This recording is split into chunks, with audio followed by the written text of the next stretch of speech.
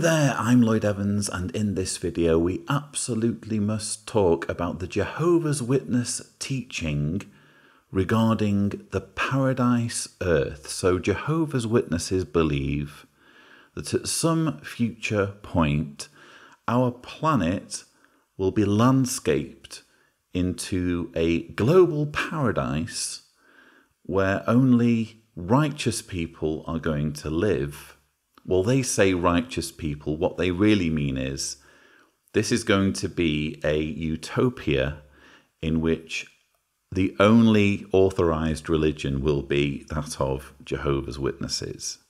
And to create this utopia, there needs to be an Armageddon in which billions of non Jehovah's Witnesses unfortunately need to be killed. So that's roughly the teaching. And in this video, my patrons have asked me to go through the various logical problems with the paradise teaching. Presumably, just in that brief description I've given you, you already have a few problems in your mind, but let's go through this systematically. Problem number one the post Armageddon cleanup operation, what would it possibly look like for the bodies of nearly 8 billion people to have to be removed? And if you're a Jehovah's Witness, probably you've not given this much thought, or you might derive some form of solace in what's been said in the publications where it's described birds achieving this goal. So, birds are going to feast on the remains of those slain by Jehovah, or perhaps there's going to be some kind of magical divine radiation that's just going to vaporize all remains of the wicked. Interestingly, Gerrit Loesch, in a recorded talk, once posited the idea that actually, no, it would require teams of brothers to go out post Armageddon and bury the remains of those slaughtered. Billions of people will die and they have to be buried. The Bible indicates in the prophecy that there will be groups of people, of brothers and sisters, that will for a long time do nothing else than just bury the dead. Now, who knows whether this is still the way Gerrit Loesch feels about Armageddon? One thing we can be certain of when it comes to the governing body or any individual members of the governing body is that they can change their minds just like that uh, about almost any of their teachings. So it's quite possible that Gerrit Loesch no longer believes that Jehovah's Witnesses will have to form burial teams. But just imagine if they did have to. Just imagine if it wasn't enough for the birds to feast on these carcasses. 7.6 billion men, women, and children. Quite a grisly task to have to do at the beginning of the paradise. Essentially assist in concealing evidence of the biggest act of genocide ever to have been committed that we know of in the history of the universe. Point number two on my list of problems with the paradise teaching the animals. They're apparently all suddenly going to become herbivores. Obviously, some animals already are herbivores, but carnivores specifically, lions, crocodiles, poisonous snakes, sharks, pretty much any animal that lives off eating other animals is just going to quit, is just going to munch on vegetation. Presumably, sharks are going to munch on seaweed. Lions are just going to eat grass. Crocodiles, same. This is what you believe. as a Jehovah's Witness. It's one of those teachings that you try not to think about because it's so obviously preposterous to anyone who has spent any time at all looking at the animal kingdom and how it works. and how there's an obvious ecosystem involving a food chain as one of its core components, suddenly all of that just goes up in the air. Everything just has to be reinvented, including the nature of the animals. They all suddenly will apparently quit eating each other. Hopefully, I don't need to explain why this is a preposterous idea but that nonetheless is what you have to believe if you follow the concept of the Jehovah's Witness paradise. Point number three the resurrection. Jehovah's Witnesses believe that after Armageddon, once the earth has begun being sculpted into this paradise utopia, people will gradually start being resurrected. Who are these people who are being resurrected? They're not the people who've been killed at Armageddon, they're not the 7.6 billion men, women, and children who've been slaughtered for the crime of not being Jehovah's Witnesses. God hasn't killed them only to immediately bring them back into paradise. That's not how it works. Jehovah's Witnesses believe that over the thousand year period, the thousand year reign of Jesus following Armageddon, every man, woman, and child who has ever lived throughout human history, right up to just before Armageddon, will gradually be resurrected into the paradise and be given the opportunity to be a Jehovah's Witness.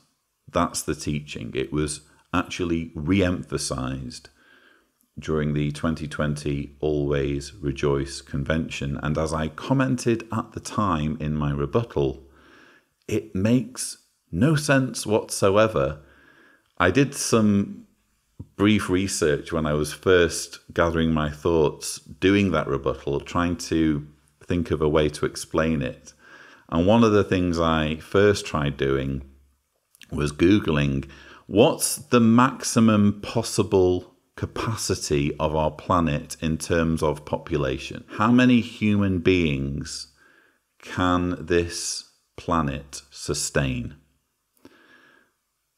And naively, I assumed it would be more than are living on the planet now. And you can get any number of different figures. But there are quite a number of scientists who say we're already there. The planet is already overpopulated in terms of the current population of 7.6 billion. That's too much for the population to sustain itself without damaging the planet. That's the whole problem with climate change, with pollution, with the carbon dioxide in our atmosphere, with the impact on biodiversity. There's simply too many of us already. Already, our planet is overpopulated with 7.6 billion. But Jehovah's Witnesses are saying, let's just crank that up, shall we? I think the figure I, when I last checked, if you type into Google how many people have ever lived, the answer that's going to flash up is 107 billion people. That's citing an article on BBC.com. There are currently 7 billion people alive today, and the Population Reference Bureau estimates that about 107 billion people have ever lived. Jehovah's Witnesses are saying, let's all live on the planet together. There's room for everyone. and the way it was explained when I was a Jehovah's Witness was that you could actually take that kind of number of people and there would still be room for approximately an acre of land per person. But I'm going to come to a problem with that later on in this list. Problem number four with the paradise teaching is how do you achieve a high standard of living with zero industry or infrastructure. There was actually a music video recently put out on JW Broadcasting showing Jehovah's Witnesses living in paradise, living in this fabulous wooden villa with machined lumber and lots of machined metal parts, including, as I recall, some kind of chrome effect chimney. and they're all enjoying this fabulous luxury property. And someone comes out of nowhere who is a resurrected family member and they're reunited. And so the point of the music video is to, again, emphasize this teaching not just of the paradise, but of resurrected ones being reunited. Anyway, as I commented at the time, where's all this machined lumber coming from? Where are all these bolts and metal cabling and rivets and all of those things which are so clearly the products of industry and of infrastructure? Who's manning the lumber mill in this paradise?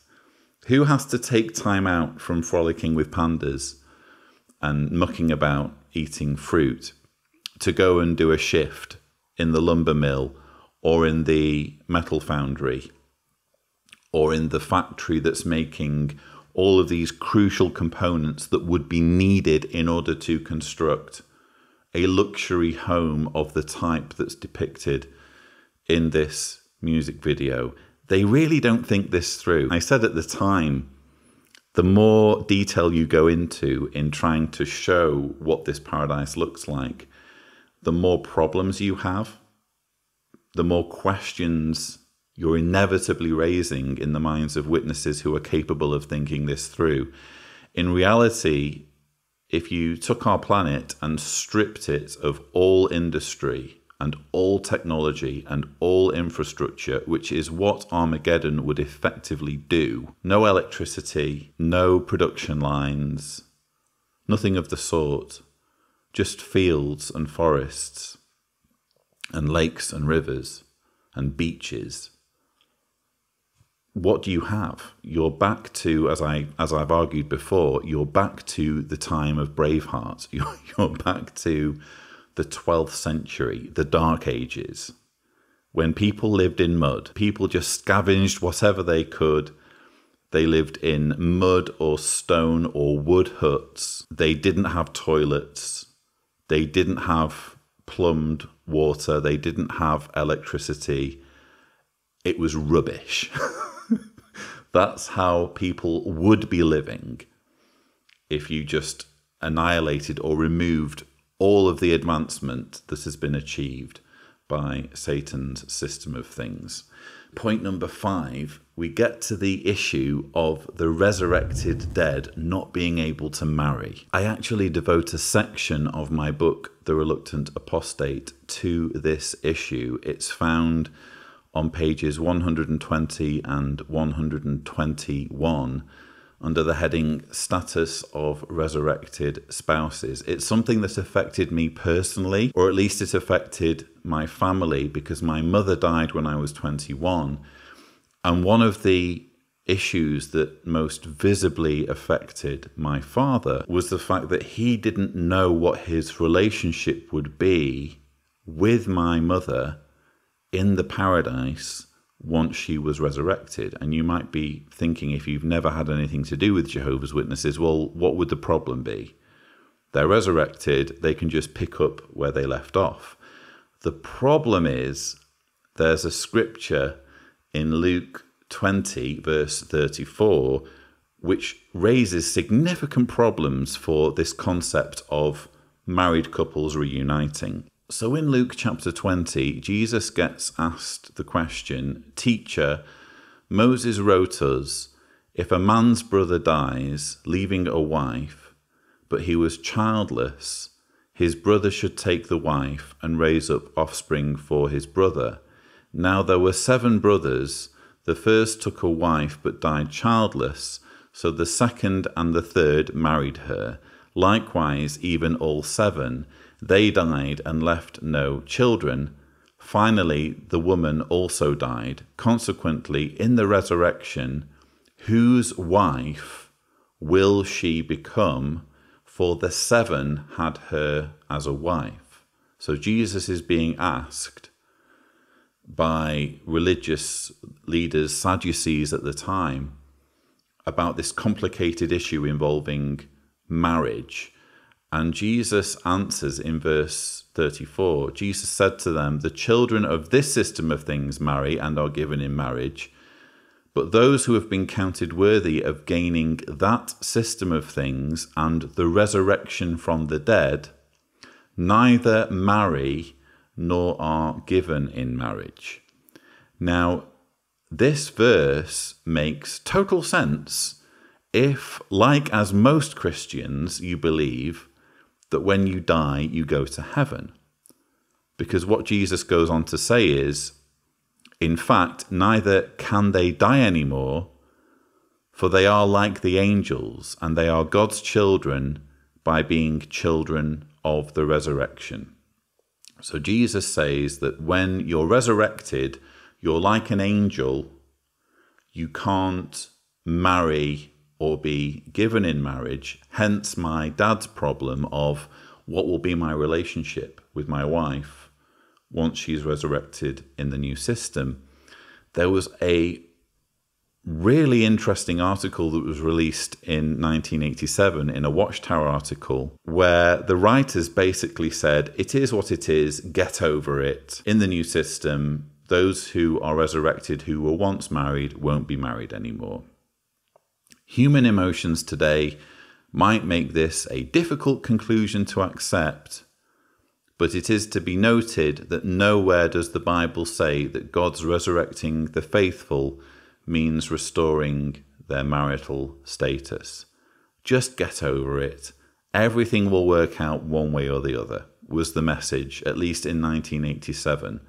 Now, as of 2014, the teaching has softened a little bit. A 2014 Watchtower applied much more ambiguity. Is there sound reason for hoping that resurrected ones will be able to marry?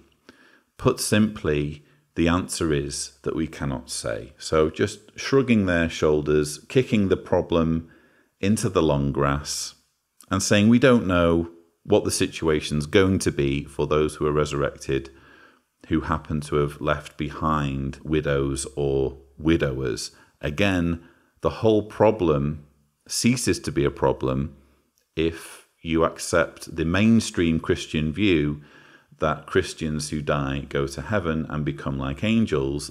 In that context, the verse in Luke isn't problematic at all. It's only a problem because Jehovah's Witnesses put this teaching or overlay this teaching of a paradise earth onto the Bible when it wasn't there previously. But I'll get to that later in the list.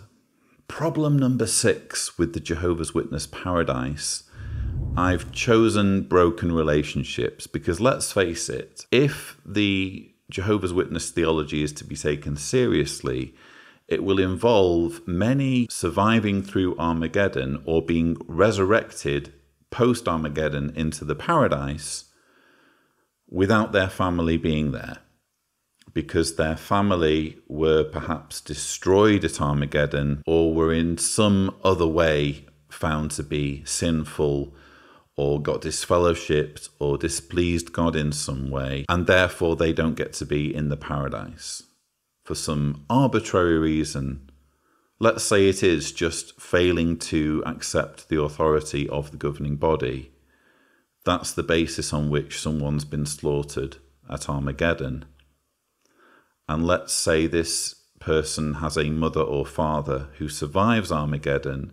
They've made it through, they're in the paradise, but their son or daughter has just been slaughtered for being an apostate, for not accepting the authority of the governing body, they've got to be blissfully happy, even though they don't have their son or daughter with them, even though, especially if they're participating in the burial of bodies, they are complicit in this act of genocide that has also killed their son or daughter. What would that do to you psychologically. Jehovah's Witnesses would probably argue well, in the paradise, Everything's just going to be swell. We're promised that God will answer the desire of every living thing. Everything's magically going to be okay. So, I don't know, maybe the mother or father whose disfellowshipped child isn't in paradise, maybe God will change them so that they no longer miss their child, so that their child no longer matters to them. And to that I say, well, that's not the same person, then, is it? If God has to change someone to make them happy, if God has to erase the memory of someone's child so that they no longer remember them or miss them, what God is doing is changing the person. So the person who is blissfully happy isn't the same person who made it through Armageddon because we are who we love, we are who we care about, we are defined by the relationships that we forge with our family members and with our friends. And if you're just going to snap your fingers and change someone so that they no longer care about someone that they actually care about a lot, then what you're doing is changing that person in their core. So, that for me is an aspect of the Jehovah's Witness Paradise teaching that really doesn't make sense. Point number seven on my list is the notion of the deserts blossoming as the rose. This is based on a verse in Isaiah, and let me give you some context from a past publication, a 1994 Awake, to show how Jehovah's Witnesses use this scripture in Isaiah to indicate that the planet itself will be changed in terms of its climate, in terms of its very geology. So, this 1994 Awake, September 22nd, on page 12, reads as follows The meek will inherit the earth. They will care for the air, the water, and the soil. Springs and streams of water will soak the parched lands. Forests will clothe the mountains that have been denuded for selfish gain. Woodlands will flourish, and former deserts will blossom as the rose. The blind will see, the deaf will hear, the lame will walk, and the speechless will talk. And it quotes Isaiah 35, verses 1 to 7 where it says, The wilderness and the parched land will exult, and the desert plain will be joyful and blossom as the saffron. Now, I'm going to come to this later, but what Jehovah's Witnesses do in justifying their paradise earth teaching is they take what are known as restorationist texts from the Old Testament. This is a classic example where it's using poetic language to say, when God's people are restored to their land post exile in Babylon, everything's going to be fantastic. Everything's going to be okay if the Israelites worship God the way God wants them to worship Him. Everything's just going to be prosperous. There won't be any hunger. People are going to live indefinitely in peace and prosperity and there won't even be any deserts. The desert plain will be joyful and blossom as the saffron. That was the purpose or the intent behind verses like Isaiah 35, verses 1 to 7. Jehovah's Witnesses come along and say, no, no, no, it's not figurative. Some verses in the Bible are figurative, but not this one, because this one suits our narrative. This is literal. This is saying that there will no longer be any deserts in the paradise. Everything's just going to be this verdant, tropical Jamaica stroke Switzerland utopia in which there's just green everywhere. Even on the mountains, it's man's fault that there aren't trees on the highest mountains. Man's been chopping down trees on the top of Everest.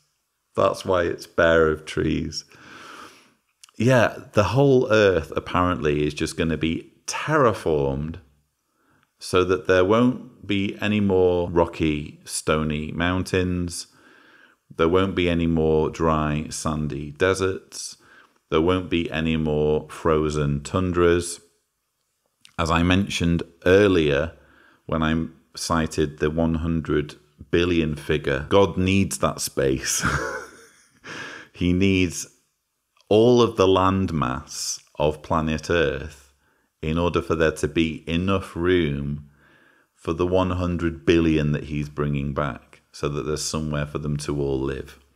And that's why apparently God needs to get rid of the deserts. But that's wrong. It, the earth is a complicated ecosystem where even the deserts play a role. I watched something recently about how the wind carries sand from the desert, from the Sahara, and deposits it in the ocean, where it plays a part in the preponderance of microorganisms. Everything is interlinked on our planet. Everything plays a part. And quite frankly, even if there was no utility in something like a desert, you'd surely still want it to be there because it's beautiful. There is beauty in a desert. I haven't really visited any yet. I haven't had the opportunity to go to the Sahara or go to parts of the Middle East, Jordan, and see some of these majestic vistas of just sand and rocks. But I want to be able to do that one day because they're beautiful. You see them on the television and sometimes in the movies, and you think, I want to experience that. That looks like an amazing place. And yet, according to Jehovah's Witnesses, oh no, everywhere is going to be like Switzerland and the Bahamas. That's what the planet's going to be like. God's going to completely terraform the planet so that this delicately balanced ecosystem is just uniformly like some featureless golf course dotted with these log cabins. That's the paradise. That's how the earth was always intended to be. Point number eight is a relatively new teaching, and I say relatively new. I hadn't heard of this until literally the 2020 Always Rejoice convention when Stephen Lett gave a grotesque homophobic rant claiming that gay people deserved to lose their lives if they were resurrected into the paradise being gay, but they would be given a hundred years to quit being gay. There'll be many others who will come back who will have to abandon their former way of life. I was thinking, as an example, a homosexual. But now, what if someone refuses to make the necessary changes? Well, the Watchtower commented on that it said, after being given ample time, maybe even a hundred years, to seek God, some will show that they refuse to practice righteousness. Justly, they will lose life in the new world, as we can see from Isaiah 65, verse 12, which says, And the sinner will be cursed, even though he is a hundred years of age. As I said at the time, and I've said many times since then, apologies if I'm repeating myself because we obviously dealt with this in my recent interview with Stephen Lett's niece, Brandy. I also cited this video in my 10 worst videos for 2020, so I won't dwell on this too much. But what Stephen Lett's suggesting makes no sense whatsoever. The teaching was always that those who are resurrected will be resurrected into perfect bodies. Jehovah's Witnesses believe that being gay is an abomination. Why would God resurrect people into imperfection, into being gay, and then order them to get rid of, to quit being gay within this 100 year period? Are there supposed to be like gay communities in paradise where people can just live authentically, at least knowing, well, once a hundred years comes, your time is up and the Grim Reaper's going to come or whoever's going to come and execute you for being gay because you've had your 100 years. It's farcical. It's ridiculous. It's clearly just a man made idea that Stephen Lett or perhaps one of his predecessors has come up with. It makes no sense for God to, well, first of all, kill people for the way he's created them. And number two, resurrect people as something that he objects to, which is being gay or lesbian or LGBTQ plus. It makes no sense. But this is part of the Jehovah's Witness paradise teaching. We can expect it to contain the paradise LGBTQ plus individuals who are waiting for the Grim Reaper after a hundred years. Point number nine on my list Paradise Cities. it seems Guns N' Roses have had some influence on governing body teachings fairly recently. because as of again the 2020 Always Rejoice convention, Jehovah's Witnesses were introduced for the first time that I'm aware of to the concept of there being cities in the paradise. I mean, I guess it makes sense from a logistical point of view if we're talking about bringing back a hundred billion people.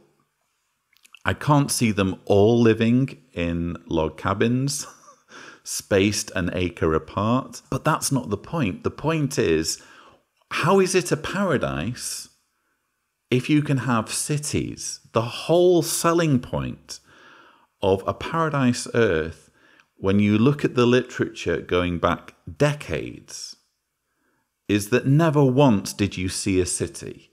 Never once did you see a block of apartments or skyscrapers or anything like that. This would be a new world where everyone would be more closely connected with nature and everyone would be surrounded by God's creation. And then David Splane just comes along and says, of course, uh, in the paradise, some of God's people might need to be assigned to cities. Yes, there are going to be adjustments that have to be made. And what about living conditions? Uh, where would you prefer to live in the new world? Maybe you love the country. And if you're assigned to live in the country, you'll be very happy. But suppose you love the country, but you're assigned to live in a city. Well, you can learn to love the city. Jehovah can help you to become whatever you need to become. Maybe you won't like being assigned to a city. Maybe you expected to have your log cabin. Tough. Deal with it.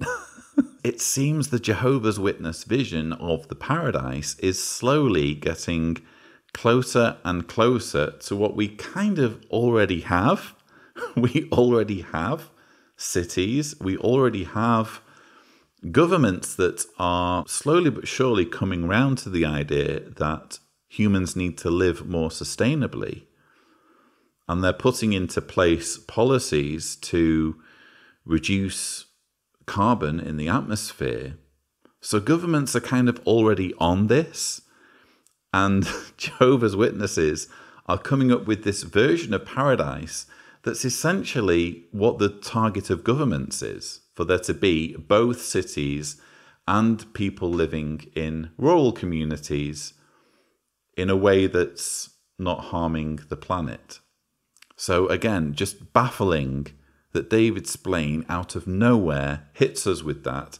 I look forward to seeing the artwork of these Jetsons style futuristic paradise cities again, who's going to be building them? Who's going to be the Jehovah's Witness who, instead of frolicking with pandas, has to operate the crane for building these skyscrapers or has to work in the metal foundry for making the the metal beams that are going to hold up these large structures. If I were a Jehovah's Witness, I wouldn't like to get that gig, but apparently some Jehovah's Witnesses are going to have a rougher time in paradise than others. Point number 10 the rulership of the paradise is going to consist of people like Anthony Morris, Stephen Lett, David Splane, Mark Sanderson, the governing body members who can't even get it right when it comes to how to deal with child sex abuse, who think that it's acceptable to keep details of thousands of predators on a secret database that doesn't get handed over to law enforcement. These are the idiots who think that they have the wisdom to rule over an entire planet. That's going to be the rulership from heaven with Jesus, someone like Tony Morris or someone like Stephen Lett. Just to think if you're a Jehovah's Witness and maybe you don't know much about the whole child abuse issue, fair enough. But even putting all of that aside, even if you think that the way the governing body is handling abuse and the way the governing body is dealing with Jehovah's Witnesses is perfectly fine, they're not contributing to people committing suicide, they're not manipulating or exploiting people. Everything about the governing body is great. Just look at them, for goodness sake, and compare them with truly wise people of their age group, people like David Attenborough, for example. Watch David Attenborough speaking about our planet and about his vision for humanity, and compare it with someone like Tony Morris talking about apostates being riddled with maggots. There's just no comparison if, if you were going to craft a global leadership, you would not be headhunting the likes of Tony Morris, Stephen Lett, David Splane, Geoffrey Jackson. You just wouldn't. They're manifestly ill equipped as human beings for the immense authority of ruling over an entire planet. Point number 11, and I realize I'm reaching a little bit here, but it is nevertheless something that you have to contend with if you are a Jehovah's Witness who believes in a literal paradise earth that will exist forever. You have to contend at some point with the fact that everything is finite in our universe. Our solar system is finite, it has a lifespan our sun has been around for approximately 4.6 billion years and it's about halfway through its lifespan. So it has another four and a half to five and a half billion years, scientists estimate, before it burns up and takes with it the whole solar system so that there can be no life of any kind really in our solar system once the sun has gone. How does that work with living forever on a paradise earth? Again, if you're a Jehovah's Witness, as with many of these points, you just have to essentially invoke magic and say, oh, God's going to magically fix everything. He's going to wave a magic wand at the sun and make the sun different from all the other stars in that are observable to humans, which all burn out at some point. The sun will be the exception. The sun will burn forever. If God just gets to move the goalposts like that, if every conceivable scientific hurdle just gets shrugged off with these magical claims, the more of these claims you make, the more you do this shrugging off, the more you have to ask, is this not just a bit man made. Is it not obvious that this whole concept of a paradise earth is unfeasible and ultimately the brainchild of a religious leadership who haven't thought all of these things through? So that it only makes sense when you make excuse after excuse after excuse after excuse. Which finally brings us to point 12 on my list which is the small point that the entire paradise teaching is not scriptural. Jehovah's Witnesses jump up and down about this being a promise of God's that is in the Bible. There's just one small problem. it's not in the Bible. I alluded to this earlier when I was talking about what Jesus said about people who are resurrected being like the angels. Neither will they marry nor will they be given in marriage. It seems obvious that Jesus was expecting people to be resurrected into heaven. He was describing followers of his dying and going to heaven or an afterlife in heaven. He didn't have in mind this Jehovah's Witness concept of a terraformed planet where a hundred billion people who have ever lived or died get resurrected after Armageddon. That is absent from Jesus' teachings. Jehovah's Witnesses effectively insert it in the Bible narrative, and there are a few clearer demonstrations of this than to simply say, How many times does the word paradise appear in the Bible? If you're a Jehovah's Witness, you would expect there to be considerable repeated mention of the concept of a paradise earth in the Bible if that's God's master plan. There's just one small problem. The word paradise only appears four times in the entire Bible. And one of those times, or should I say, only one of those times, is applied by the organization as referring to an earthly paradise. The other three are supposedly referring to heaven or they're figurative. So here on the screen, you will see all four references to paradise in the Bible, and it's only the one in Luke 23, verse 43. And he said to him, Truly, I tell you, today you will be with me in paradise. That's the only reference to paradise in the Bible that Jehovah's Witnesses claim refers to a literal earthly paradise. If you're God and that's really your master plan, you haven't communicated it very well, have you?